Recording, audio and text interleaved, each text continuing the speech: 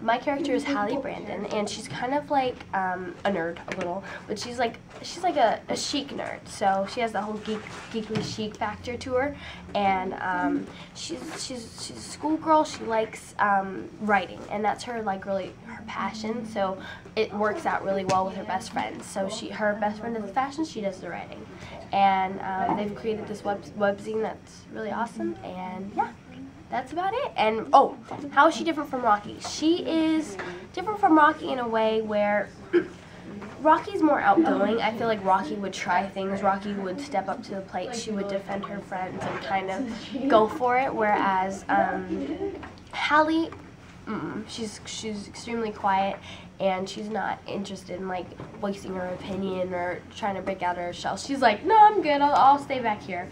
So um, that's how they're different. But I feel like towards the end, you'll kind of learn how Halley kind of just breaks out of her shell a little.